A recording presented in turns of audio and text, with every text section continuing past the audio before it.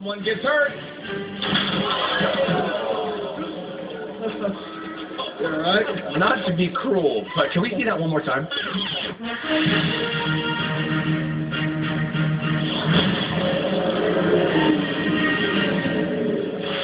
Back inside, things weren't turning out any better.